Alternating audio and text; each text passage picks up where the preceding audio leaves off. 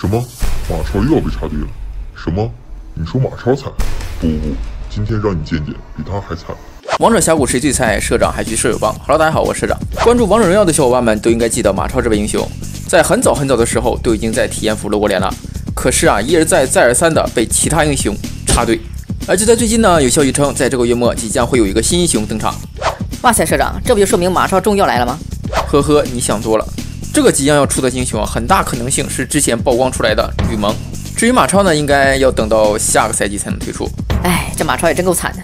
嗯，虽然挺惨的，但还算不上是最惨的。师长，你这么说，峡谷中还有比他更惨的英雄？当然了，在座的老玩家啊，都应该知道，在很早很早之前，体验服有个非常火的 IP 英雄八神庵。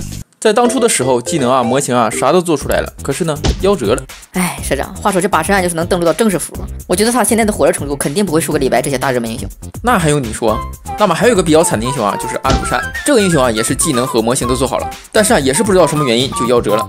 最主要的是啊，他还夭折的悄无声息，很多玩家啊，压根都不知道这个英雄，不像八神庵夭折的那么体面。那社长，虽然你说了马超很有可能在下个赛季登场，但是啊，我听你说完这些被删除的英雄后，就替马超啊感到有些担忧。这你就没必要担忧了。目前来看，马超是不会被删除的。虽然总被插队，但是上线是迟早的事情。那么在最后呢，社长还要给大家透露一些现在已经有眉目的英雄，分别是西施、重炮初夏和夏晨。除了前面说到的吕蒙很有可能在月末上线之外，这三位英雄也会陆续的跟我们见面。社长，我只能祈祷他们三个别再插马超的队了。好了，喜欢社长的小伙伴给社长来波点赞、关注、收藏、转发、评论吧，拜拜。